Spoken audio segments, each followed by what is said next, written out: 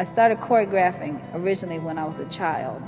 I didn't know if I had talent, I just liked doing it. So when I was at Ohio State, the faculty there really supported and actually pushed me as a choreographer. Through my studies in the dance department, meeting my professors and also the professionals they brought in for us to study with, the guest artists, there were people I felt here, they have made their lives through dance and they have changed people's lives through dance. I said, oh, I can do that too.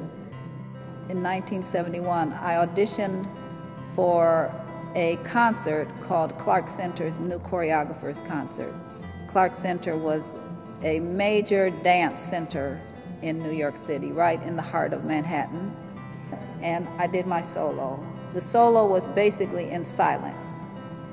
So when I finished as much of the piece as I had done, I stood before the panel, I guess maybe something like American Idol.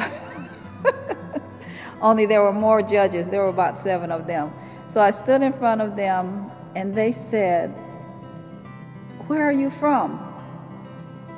The way they said it was like, Who is this woman?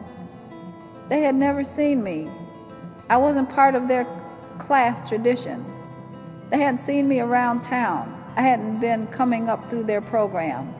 Like, where are you from? I said, I'm from Ohio. When I went to New York, I was fully, fully equipped. Not only did I wonder whether I was fully equipped, I knew that I was.